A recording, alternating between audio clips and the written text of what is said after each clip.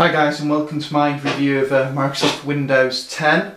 Um, I've had about two weeks to play around with this and uh, get a feel for it so I'm just going to go over what, what I found, what I think is quite good, um, what I'm not so sure about and just, just give the people out there that haven't got this yet a uh, little taste of what it can do. So I'm running this on, this on a tablet um, connected to a dock, so it's a Dell Venue 11 Pro with the uh, productivity dock. Um, so what I'll do is kind of talk about it from a uh, tablet kind of point of view and, and what it brings. Um, so first of all, when I uh, went on my tablet about two weeks ago, I had a little notification down here on Windows 8. I had the Windows symbol here. I clicked in, it said, do you want to enroll in the Microsoft upgrade program to a Windows 10? So I accepted that. The next day, said oh, my software was available, and then it starts to download it from the um, from the Windows updates. So the download's about two gig, um, it downloaded, installed, all went smoothly, and because it's an upgrade, it retains all your applications, um, all programs, backdrops, everything like that is, is fully retained. So upgraded it, didn't have any problems, and I found that all my applications, so Skype, um, for example, my Epson printers, um, AVG, um, all my Synology, because I use Synology NASes, all my Synology applications work. Um, so, so that's good. So I haven't found any problems. I use Adobe as well for photo editing. Elements 13 again. That's not shown as certified on Windows 10, but again I haven't had any problems with that. So when you first install it and it comes to life, you, you're taken to this screen. And um, you obviously verify it with your Microsoft account. Um, I like to log in via a PIN, um, which is in the settings, which is easier easier to do. So first of all, you have a search box here. I've just removed that. You have a task view. So what task view does, it shows you anything that you've got currently running, um, like a tablet would. But also what it gives you is this new desktop mode here. So what it creates is almost like virtual desktops uh, instantly, just like that. So desktop 2. And then anything you run within that desktop basically loads up and is only seen and uh, it's transparent to the other desktop. So quite a nice little feature.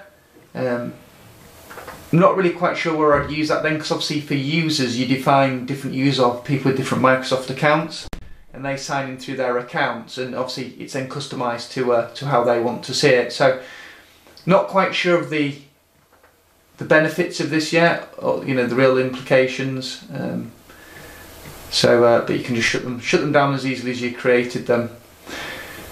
So when you first go into well, that's the first change you'll see is this little thing here, and you'll also see a search box. Um, if you click on the Windows tab now, this has changed as well. This is like a hybrid Windows 7 XP meets Windows 8 variant, to say to put it loosely. So you have your tiles there, but I don't really like that because I'm running a tablet. I, I quite like the tile screen. You know, people might be booing with me saying that, but everyone's different. So what you can do is uh, go to settings one of the big changes I want to point out is with Windows 8 it very much felt like there was this new front, this nice shiny new front end, and then when you clicked into things it brought up your traditional uh, things we'd seen for years from XP days. So for example, if you went to settings it would take you into control panel. So it was almost like a front on top, it didn't have this new great feel to it. So this is how uh, everything's kind of laid out now. So you click into your system, you know, everything's this kind of a uh, this kind of um, looks like this now, which is a lot nicer. So what I like to do is I mentioned that I like to have the tiles, when I start I like it to load up to the tile screen. So if you go to personalisation and start, you can actually use start full screen. So if you notice there's no apply, cancel or OK anymore, you slide your bars, when you sling it across, it applies it, okay? So now what happens is when I click on that, I get what I prefer my tile screen back.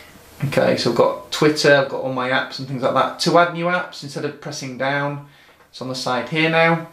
Add in what you want. And then you've got your power button. So you've got your power, your restart, your shutdown, your sleep, that kind of thing. Let's go back in there. Something else I quite like, if you go to settings, is you've got the ability to define the size of your um, text and also your app, so your little apps that you click on, so like these things. So on this monitor, I've got the ability to set up to 225%. So it's got recommendation of how big the icons, should call them, and text should be, but it's down to personal preference. So I like that. Without affecting actual resolution, the uh, outputting, you're actually able to adjust the size of your of your text and your bits and pieces. Okay, again, you just slide it and applies it. So everything's kind of this kind of layout now, this kind of methodology through it.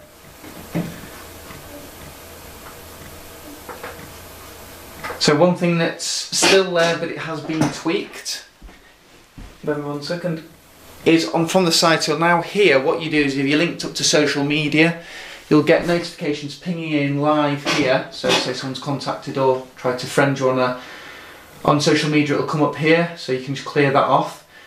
So in here you've got a tablet mode, you've got your settings, Bluetooth, your typical stuff. So you've got location services, and you've got battery saver on this. You know, you've got all your different options before you can obviously change your brightness here. Tablet mode, I'm undecided um, when you would use that. Maybe if you had a, uh, a lower powered tablet, um, or if you wanted someone just to have tablet features, maybe if they didn't really understand how to use full-blown Windows, I'm not quite sure what yet, but if you click tablet mode, basically when it starts it will start to load to this screen, okay? But pressing Windows doesn't do anything. You've got your buttons, you've got your search, your task, you can create still new new task viewers, sorry, new task viewers, you can see your tasks. But you can't really do anything and there's no back to desktop mode. So I haven't really figured out the full benefits of that because I use this as a desktop and a tablet. I'm going to uh, flick it back to uh, take tablet mode off. So again, there might be a, a, reason to use that, but I'm not not a big fan of the, fan of that.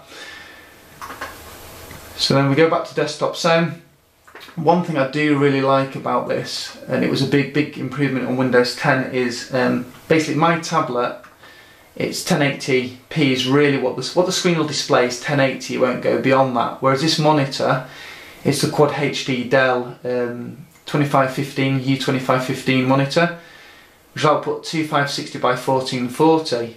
So when I had Windows 8, um, to this monitor I could only uh, display 1920 by 1080, not a really bad resolution, but when you've got a 25 inch ultra sharp monitor that's got 2560 by 1440, you want to drive, you know, you want to drive the best picture quality, you want it to be crisp and sharp, um, you want to get the most out of it. So with the development of Windows 10, um, it allows me to display on a monitor a higher resolution than the physical tablet screen can display.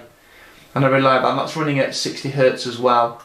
So I think that's a massive improvement for people running um, larger, um, you know, higher resolution monitors to the to the devices they're uh, they're using. Um,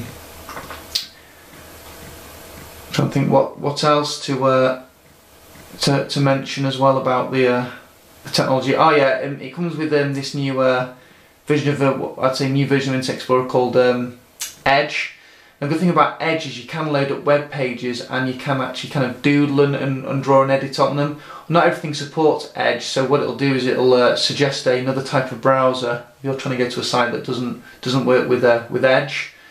Um, trying to think if there's anything else. Oh yeah, something else that's quite interesting if you're running a tablet is when you load up an internet page, because um, I'm using a keyboard at the minute, it won't display it right. But if I go, say, say I was on tablet mode, and when you first click on there, it pops up with your, your keyboard, so you can write in there. Because it doesn't detect a an attached keyboard; it loads a virtual one. And what it does actually load up to is this keyboard. Okay, so what that keyboard allows you to do, and again I, I quite like this feature, and I'll show you, is it allows you to actually write with a stylus what you wanted to search for. So excuse my uh, writing.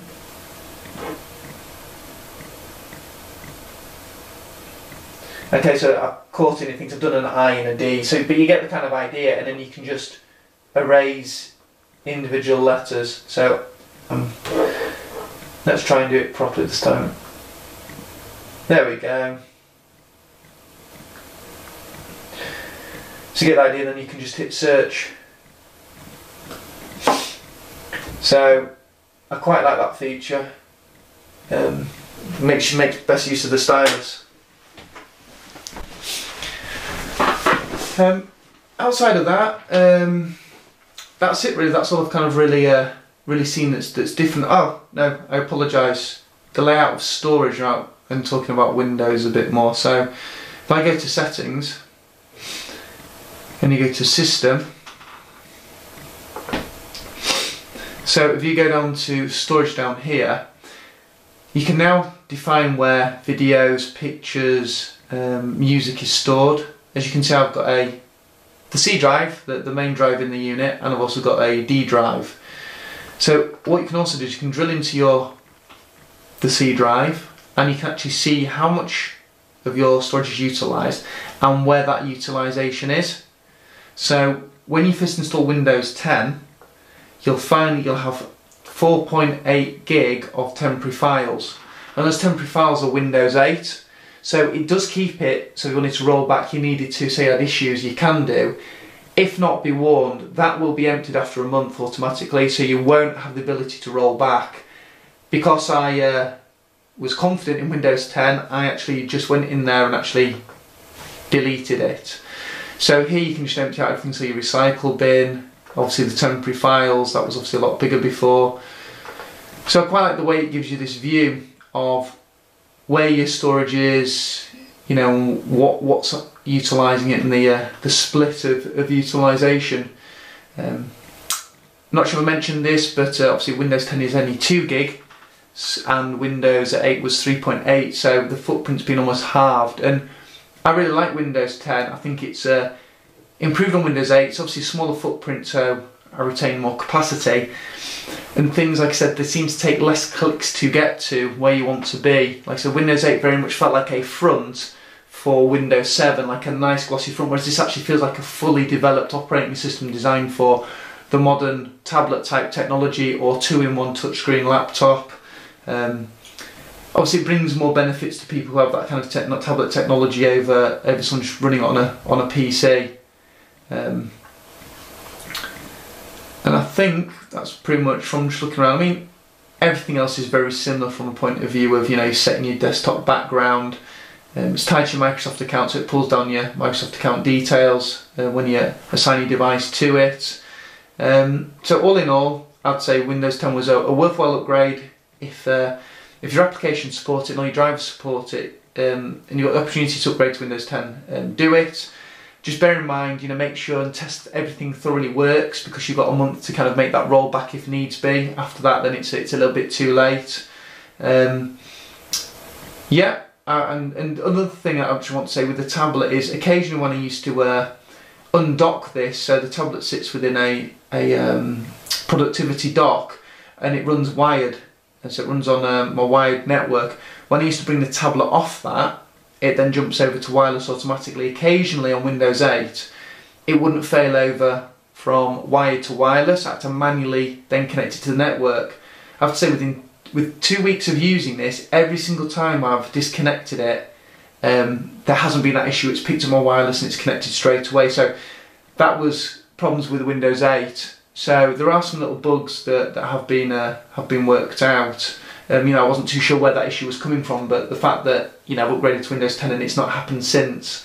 Um, something else that I use, which is which is pretty cool, is the uh, Microsoft wireless adapter. So that's plugged into a 55-inch 4K TV, and then I can use that as a as a 4K monitor. And again, it'll upscale um, the picture quality from my tablet. So I'm going to do a review on that on the on the Intel adapter as well.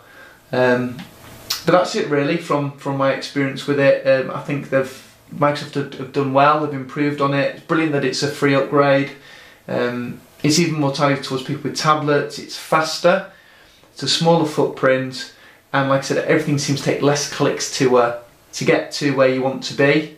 Um, and there we go. That's that's my review. If you've got any questions or if you want to leave any feedback, um, please feel free to uh, contact me. Thank you. Bye.